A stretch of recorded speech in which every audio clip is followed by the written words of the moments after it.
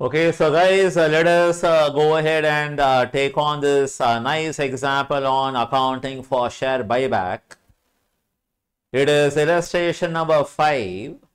Now, I just want to explain there is a shortcut to find the maximum number of shares that can be bought back applying the debt equity ratio test. Is that fine? Yes, sir. Now let's go ahead and take on illustration number 5 from your uh, study mat. Yes. So, Pratham Limited, a non-listed uh, company, has the following capital structure as on 31st March 20x1.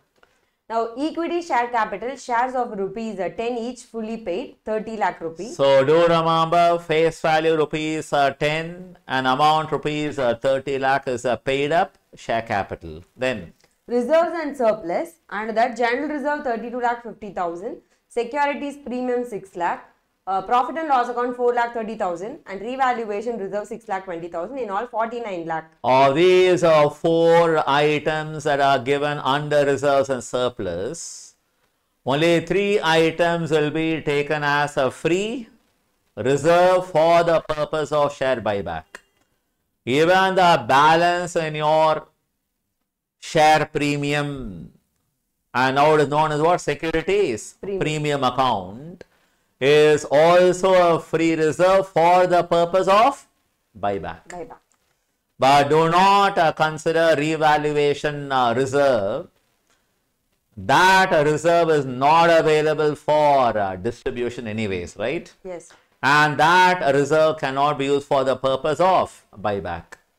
The reason is for the purpose of the premium on buyback, that loss, which is a buyback premium, can be adjusted against the balance in your securities premium account, which is uh, permitted under section 52, right? Yes, sir. I can use the balance in securities premium for the purpose of buyback.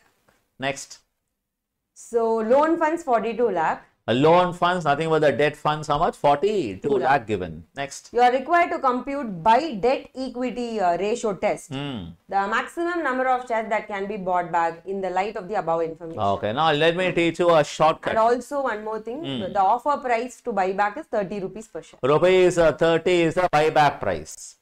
That is the price your company is willing to pay to buy the shares from the shareholders, right? Yes, sir. Now, how to go about uh, calculating the number of shares that can be bought back applying the debt equity ratio test? Now, I will not follow the the you know the uh, Books. uh, you know beating uh, the bush. Okay, so the long uh, route. I'm going to follow a shortcut to find the number of shares that can be bought back. Just take a listen. Okay. Now just see the first step. What are you going to do first? You calculate the present equity, Equity. nothing but the shareholders' uh, funds, which is uh, rupees uh, 30 lakh in paid up capital, plus uh, reserves, uh, free reserves, which is 32 lakh and 50,000, plus rupees uh, 6 lakh, plus rupees 4 lakh and 30,000. So please uh, do not uh, consider revaluation reserve, right? Yes, sir. In all, uh, it is 42 lakh and 80,000. And therefore, the total amount of uh, shareholders' funds, uh, that is a present equity, which is rupees 72 lakh and 80,000. Is that fine, guys? Yes. That's the first step. What is step number two? You got to calculate the minimum equity. That is your the balance and shareholders, that is shareholders funds should not uh, fall below this amount. This is supposed to be the the floor. You get it? Yes, sir. If this is the present equity 72 lakh, how much? 82,000 the my you know the top hand.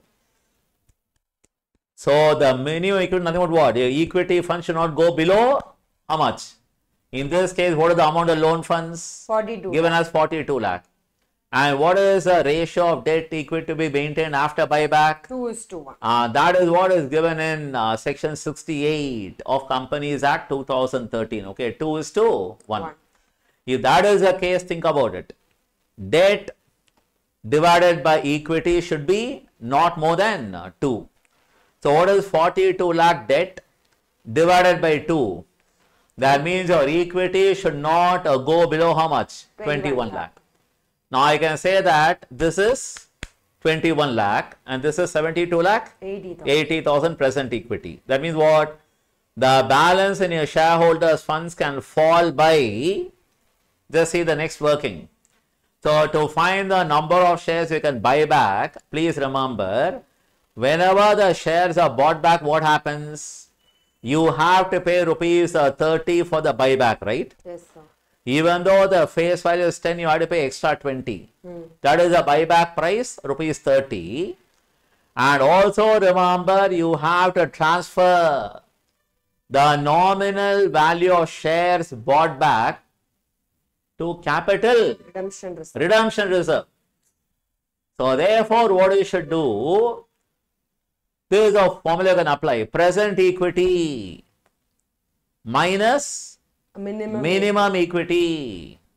Divide that by rupees uh, 30. That is the amount you have to pay for the buyback. Plus what?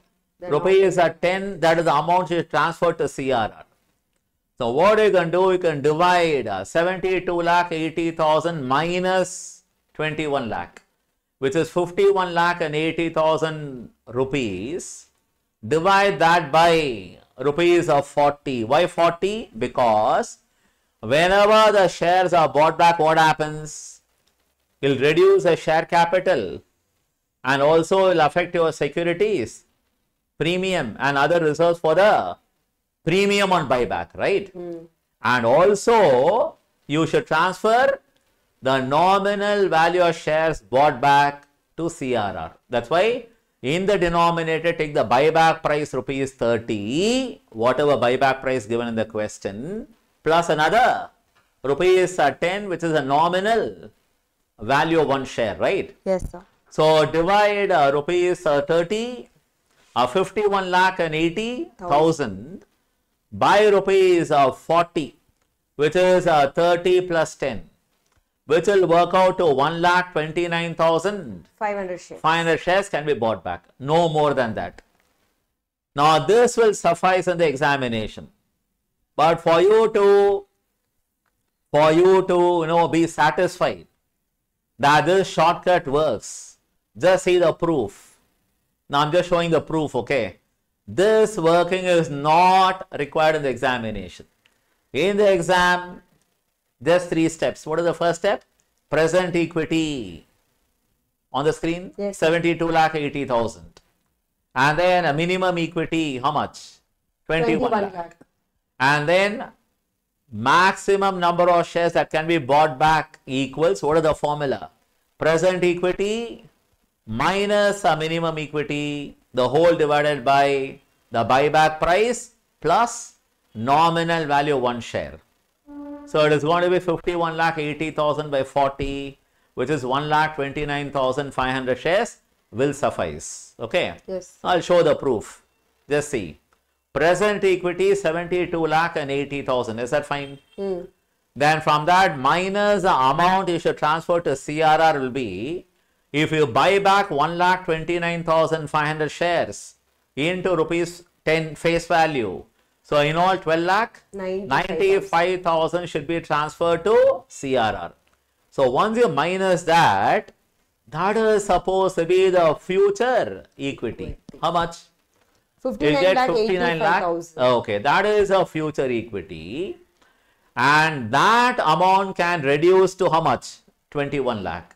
So minus a 21 lakh minimum equity, that means how much? 30. 38 lakh 85,000. That means that is the amount by which your paid up capital and free reserves can reduce, right? So divide that 30 8 lakh 85,000 by 30. divide that by rupees uh, 30 only the buyback price because already we minus the transfer to CRR right Yes, by sir. 30 you'll get 1 lakh 29,500 500 shares. shares. but please remember this is only the proof right Hmm. As I say proof of pudding is only in eating it right Yes, sir. so it is only a proof no need of this now please remember in your textbook Just see the solution out there. Can we have the solution? Yes, sir. Just see they have done a you know, long uh, approach where they assume that the amount transferred to CRR as X Yeah. and the amount of buyback as Y and they used uh, two equations and solved it. Yes. All those are not required because all those equations are not suggested by a Companies Act, okay? Hmm. So just follow the approach I gave you now. The three step approach, you follow that, okay? You're good to go. Is that guys? Is that okay, guys? Yes, sir. Okay. Yes. So bye bye. Good luck. Thank you.